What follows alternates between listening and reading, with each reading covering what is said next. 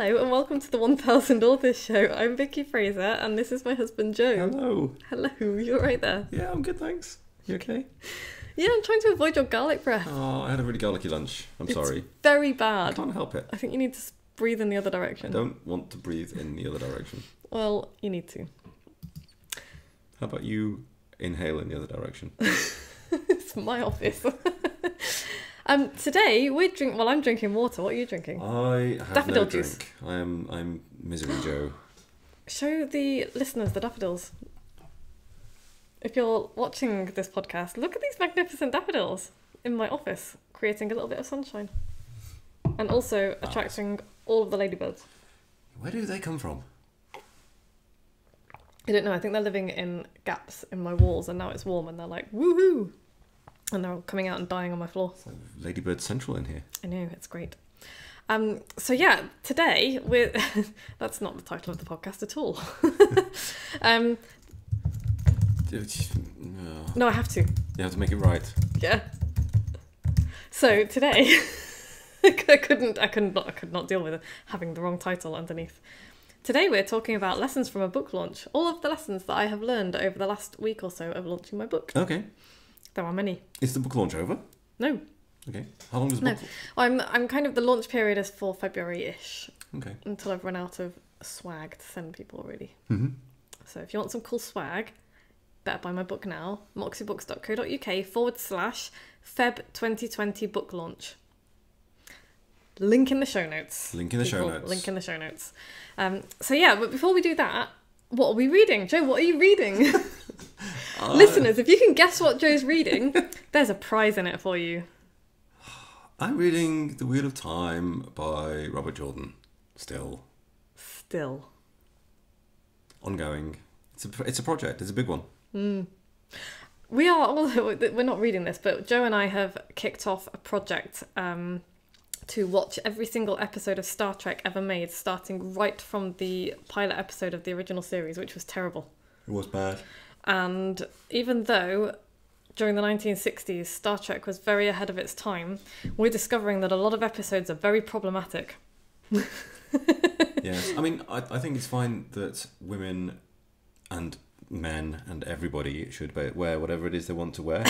I just find it a little unlikely that all of the women would have chosen to wear skirts quite that short. They've all got their butts hanging out. It's like actual butts hanging out the back. Which is, again, you know, I'm a pole dancer, not a problem, but it just doesn't seem to be very practical. Hmm. Especially, I was going to say, especially when the men are all covered, but actually, that's not entirely true because at every opportunity that you can possibly imagine, James Kirk takes his shirt off Yes. or gets his shirt ripped off him. Mhm. Or is otherwise slightly creepy towards whatever young woman happens to be in the vicinity. um, it is also awesome It- well, yes. but also terrible Hmm. In many ways. So that's what we're doing.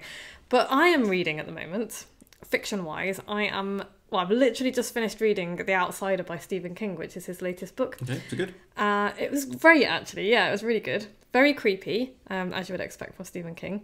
And I got, I, I, I had a really weird day on, was it Wednesday night you were away? It was, wasn't it? Yes. It's Wednesday night Joe was away. And so on Wednesday morning I had to finish I had to finish the book because otherwise I would have been reading it in bed and that would have been terrifying. I would have been terrified. So I was like, right, I've got to finish this book in daylight before Joe goes. And it meant that I started work really late. So I didn't get into my office until later than usual and um, because I didn't have any snooker to watch. Wait, what?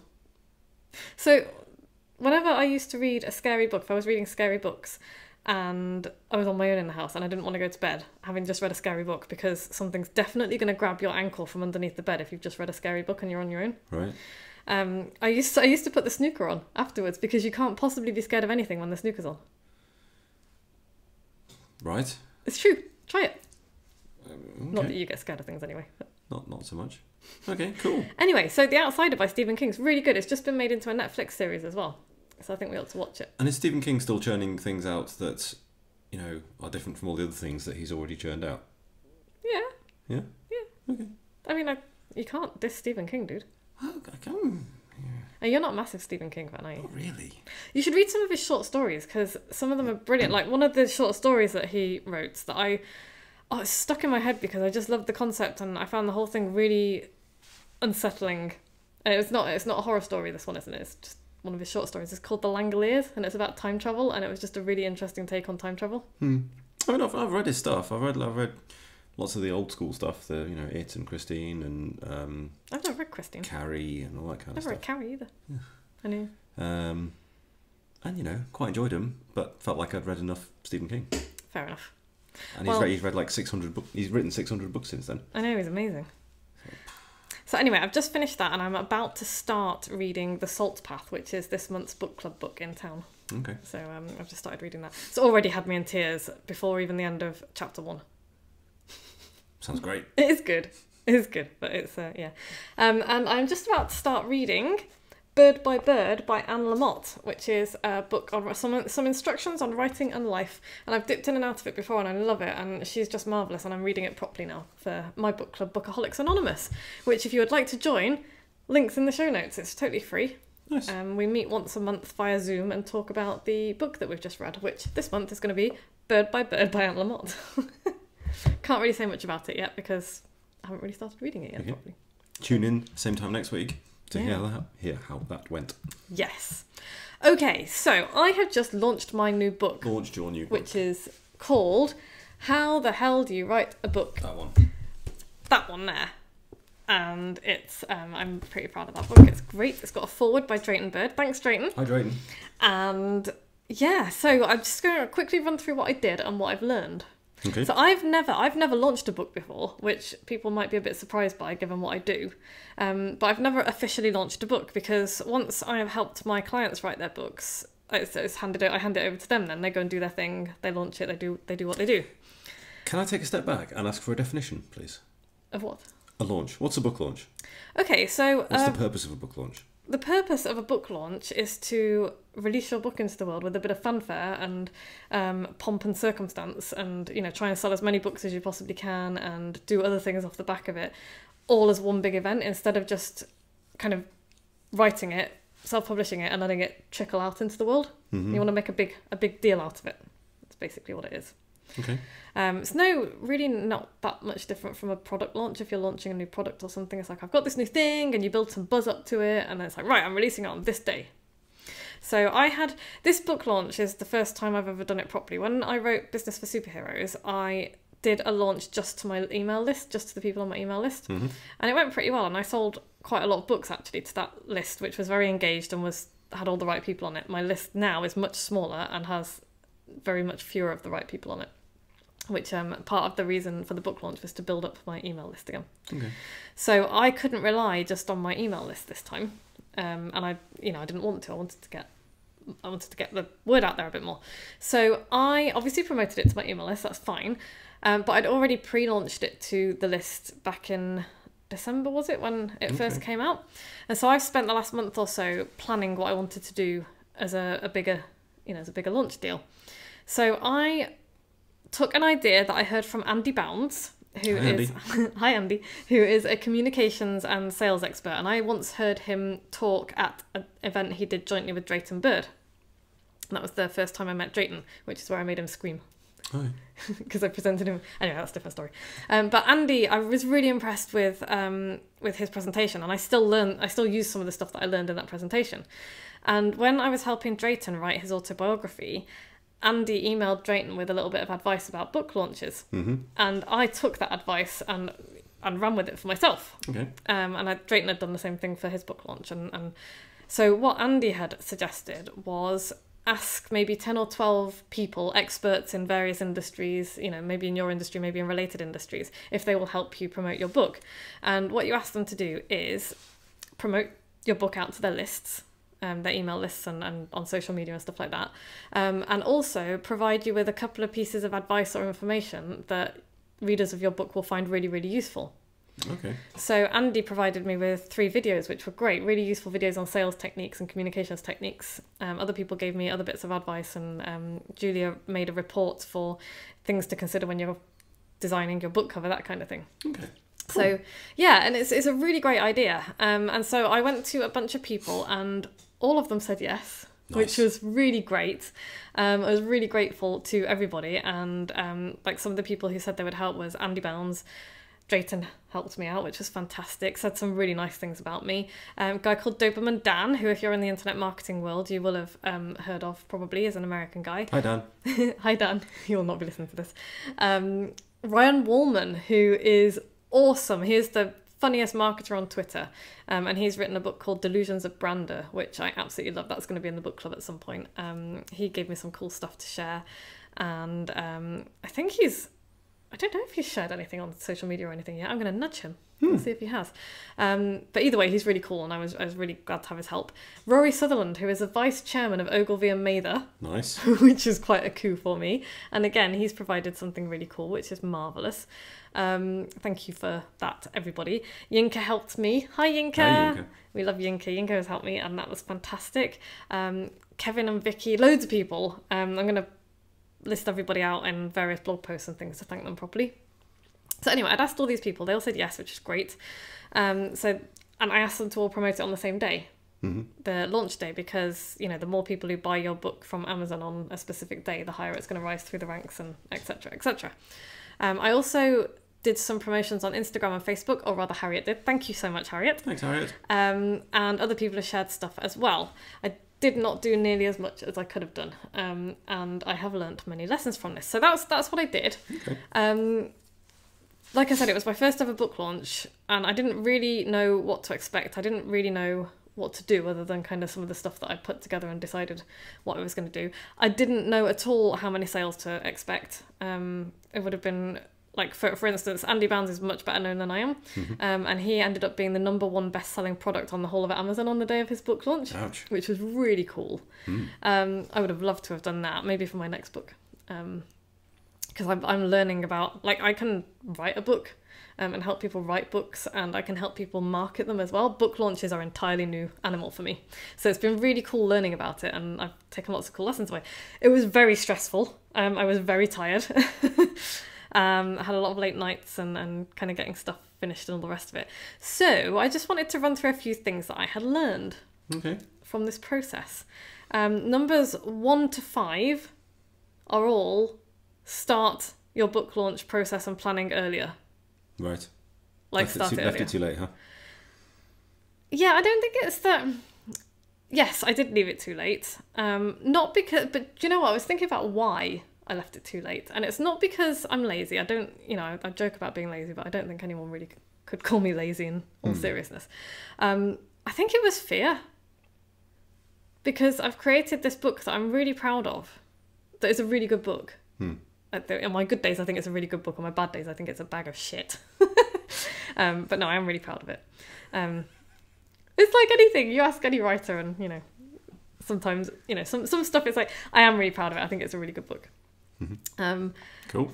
and it was just scary putting it out into the world because it's like if you actually do a book launch and ask people to buy it and and ask people to help you sell it, then suddenly, you know, if nobody buys it, it's going to really hurt. Whereas if you don't say anything, if I hadn't done anything, I could have been like, oh well, I didn't, I didn't put much effort in, Didn't, so didn't put no, much effort in. Nobody bought it. Yeah. To be expected. That's fine. Yeah. And so it's just like another sticking your head above the parapet and, you know, inviting people to throw rocks at it. And sure. do you know what I mean? Hmm. And so I think that's why I didn't start it earlier because I kept being like, oh, oh, I'll, I'll get to it, I'll get to it. And then, But it's fair, really. Yeah, it's totally fear already if I'm, if I'm being totally honest. So I didn't start early enough. Um, I didn't know enough about book launches. hmm Um, now I know more about book launches, and for my next book launch, I'm going to know even more. And you're going to start earlier. and I'm going to start earlier. Um, what else did I learn? To be braver about asking people for help. As soon as you asked everybody, they all said yes. Yeah, I had to. I emailed a couple of people a couple of times, but yeah, they came back and said yes. Nobody said no, and I made it very easy for them to say no as well because I, you know, at the end I was like, absolutely fine. I'm, I, you know, if you if this isn't your cup of tea, that's not a problem at all. Thank you for listening and reading. I also oh, I also made um little videos asking people to help me, which most people won't bother doing. So Cool. put a face to the name. Yeah. Face to the name, name to the face. You know what I mean. Voice to the words. I don't know. Them. Yeah, that. Um, so yeah, I would be braver about asking people to help me hmm because all of the people that I asked said yes, which was awesome. Um, so there were a few people that I didn't. I chickened out of asking. I was like, oh, I'd really like to ask that person, or you know, that person would be a really good fit, or you know, and for some reason I didn't, and I didn't ask enough women to help me. and I'm really annoyed about that. Interesting. Yeah, I know, isn't it? And I was thinking, I was thinking about that. I was like, oh, why have I? Because I could think of a whole bunch of female entrepreneurs that I would have loved to have asked to help me do this, and I chickened out of asking all of them. How strange. I know, which is really weird, and I'm annoyed for two reasons. First of all, because you know I'm chicken, and second of all, because I want more. I want to. I want to introduce more people to the people who help me, Mhm. and so you know I want to help more women grow their businesses if I can, because you know we're not loud enough and we're why, not. why don't you just ask him? Oh, the launch is kind of over now. It's not what's going on all month. Don't ask, don't say that kind of thing to me on like live podcasting. Will you do it? Yes. Okay, good. We'll check in next week. Oh, okay. Um, but I'm gonna have to unpack that at some point and figure out why. Yeah. And I think it's I don't know, if, and I have to be kind of careful what I say because all of the people that I've asked I really admire, obviously, because otherwise I wouldn't have asked them. And I wonder if it's because I wonder if it's because I put more weight on women's approval than on men's approval, Hmm, perhaps. and I don't know why that might be. Um, I'm more bothered about being judged by other female entrepreneurs, I think, than by male entrepreneurs. And Okay. I, I wonder why that is. Um, I'm going to have to dig into my brain with a spoon at some point and find out. Because that's ridiculous. Yes. Yes, it is. Because we need to we need to help each other, women in business. We need to help each other more. And, you know, me doing that is just dumb. Get on with it. So yeah, that's that, that's what I would. But I would be brave about asking all sorts of people for help. Hmm. Um, because if you ask people and if you ask them graciously and give them an easy out, then it's it's It's fine. It's fine. Yes. You're not Um, burning relationships or No. pissing people off or, you know, No. cornering people. I would never. I'm never pissed off. If people ask me for things, I'm never pissed off. I don't always say yes, but I'm never pissed off about it. So, um, Joe, you told me a good thing. Well, Tell me what you well, learned. when, when I heard that, you know, we were doing a podcast on, on things we learnt about book launches, I thought, oh, I better, I better find out about book launches. Um, Did you research? A little bit. It's because you're my love. So I obviously, you know, started Googling, and one person's strategy, at least, was all about getting your Google ranking high. Okay. So um, Amazon ranking, Amazon even, ranking, Amazon yeah. ranking. It's all about getting, you know, in the top twenty of Amazon on the topic that you're talking about. Okay. Um, and their whole methodology was focused around that and nothing else. It wasn't about making money or, or meeting people or anything. And they said to do that, you need lots of sales for a month, Right. not for a day or a week or anything else. You need a month's worth of good sales Okay. and you need at least 10 reviews. Okay. So their whole strategy was around getting those two things. And what they did was they would say, um, you know, talk to people, email chains, mailing lists, all that good stuff that you're doing. But they, they said, have the starting price as low as you can bear. Uh, they were saying like 99 cents. That'll for be month. for an ebook. Yeah, for an Yeah. ebook. Um, and uh, that will get you lots of sales. And then you get people to write reviews a couple of days after they received it. And that gets you the reviews. hmm And uh, that gets you high enough in the rankings to keep you near the top of the list for the next month. And assuming you sell a bunch of books then as well, it keeps you high in the next month. So the whole deal is about staying high up the Amazon list. Can you remember whose advice that was? No, but I'm sure my internet history knows. Cool. It would be really nice to credit that person with um, Hmm. with what you've just learned. So um, that link will be in the show notes when Joe has dug it out and do so. and found it. And I, I kind of it would be nice to. In fact, we could. So that was um, Joseph Hogue. And we're back in the room. Hello. Um, so Joe found that on a oh god, Terrible sounding website. Yeah, but the guy who wrote the advice was a guy called Joseph Hogue. H O G U E. Yeah. So there you go. Book launch strategy will promote will protect your Amazon rankings and turn your book into a bestseller. Um. So yeah, that's that. I mean, it's I don't know if that will work or not, but because I haven't tried it. But go try it if you're going to launch a book. Try it. Mm. Um, which brings me to the next thing that I've learned that I didn't I didn't do in time um, because I and actually you're you're going to be helping me with this and I didn't ask you to learn about it in time. Um, but I didn't use any ads. I didn't do any paid advertising at all. Sure. Um, and I think that would have been a big help on Facebook and on Amazon. Amazon ads. So um, Joe's doing currently um, a Facebook advertising course that I've bought Yes. um, because I knew that I wasn't going to do it. Basically, um, I want to know when when when you set up the stuff. I'm going to sit and watch you and kind of help you, and I'll, I'll obviously have to write the copy as well. sure. Um, so I want to understand it, but I know I'm not going to do it, and that's the kind of minute detail stuff that I think you'll quite enjoy. Okay. Um, so ads, use ads um, to push people to your book launch um, and all the rest of it. I'm going to definitely do that next time when I've got a handle on how they work. Um, another related thing: ask for reviews more often. Yes. It's really, really, really difficult to get people to review your book. It's really difficult, even among people who really love you. Um, it's I, I, you know you have to ask, and I'm, I'm not I'm not poking at anybody here at all who who I've asked for a review who hasn't reviewed it yet. But please do go and review it. Um, uh, but it's, it's just a, just a difficult thing to do. Yeah. Um, it's a difficult thing to, to get people to do. So ask for ask for reviews often and early. And as soon as you know somebody's got a book, follow up. So as part of my email sequence, there's always quite early on, please go and review my book. I missed a bloody trick in the actual book. I made a video about this the other day. I forgot to put in the printed book, and I'll change this in the second edition, um, a page right at the end that says, Thanks so much for reading my book. Please go here to Amazon and review it now. Um, I'm putting that in the digital version of the book it's obviously very easy for me to change that Mm-hmm. um, and then re upload it. So the digital version of the book will have that in, and it will have a hyperlink as well Which, which, makes, makes, it. it. even easier. Um, and I use a piece of software called Vellum, which makes it really easy to link to the bookstore where the person bought the book. So if they bought it somewhere else, if they bought it on say Smashwords or Barnes and Noble or something like that, it'll hyperlink to the shop where they bought the book Nice. and leave the review there, which is really which is really cool. It's That's really cool. simple. Yeah, I would rather they reviewed it on Amazon to be honest, because more people use Amazon, but that's fine. Um, so yeah, get more reviews if you if you can. Um, I should have talked more about the launch. I was too quiet on social media and in person, and I think it's because I was so sick of hearing myself talk about my book. I thought everybody else would be as well, which they might well have been, but it's it's that old chestnut of um, people stop people stop running successful adverts in their businesses because they're sick of them and they forget that they see it every day, but the people they're advertising to don't.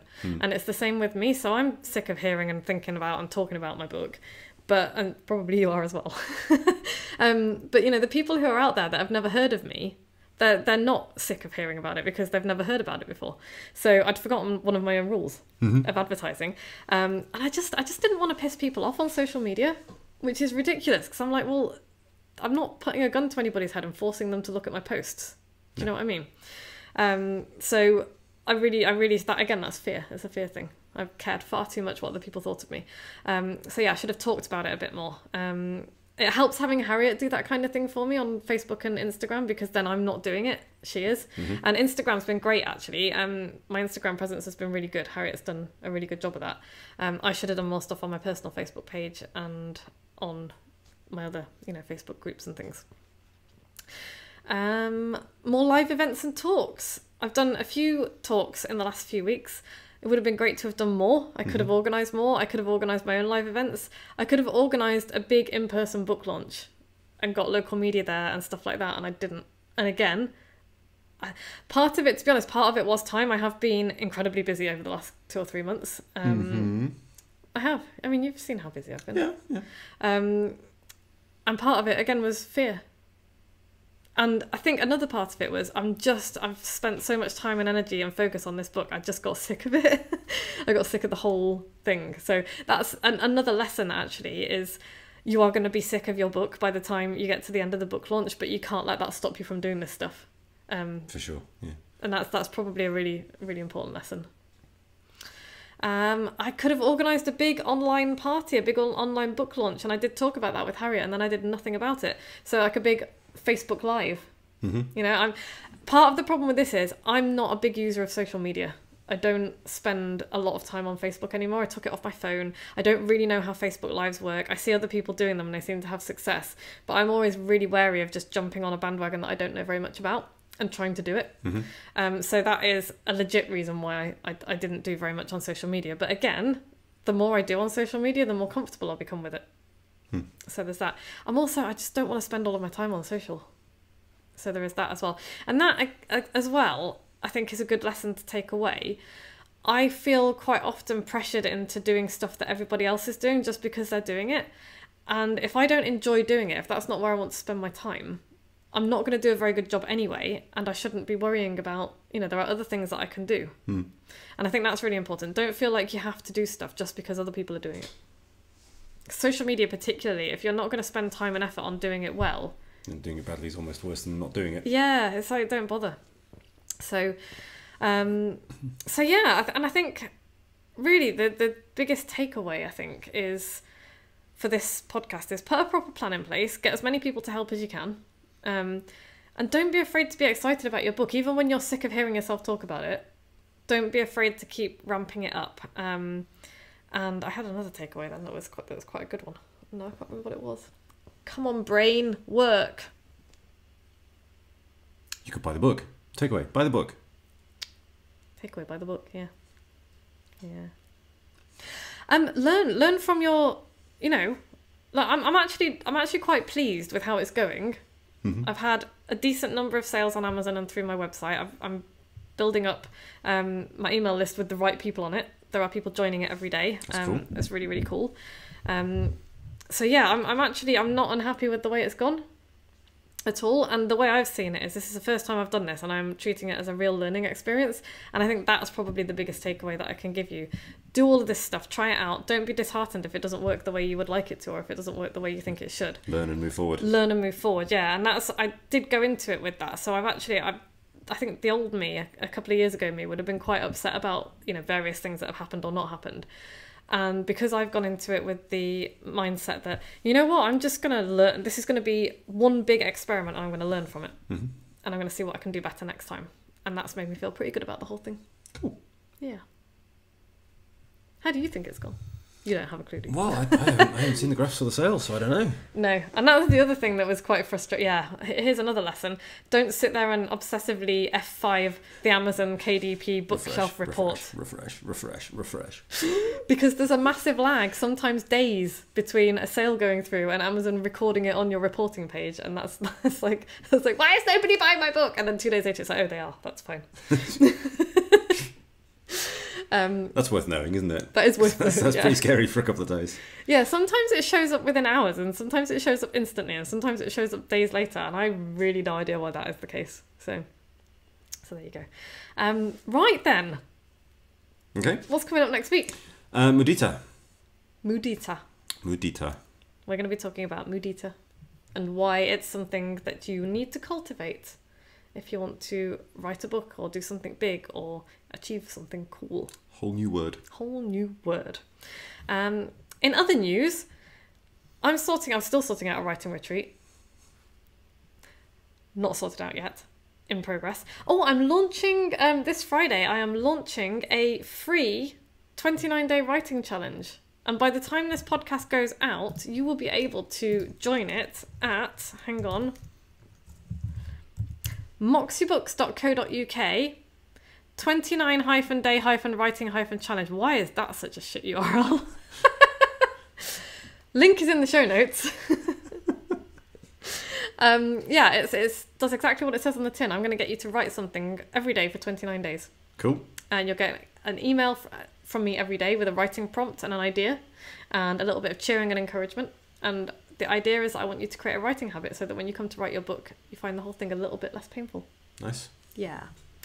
Uh, if you've listened to every episode of this podcast, you know what to do. Email me with your postal address and I will send you a cool gift. Nice. hmm And what else?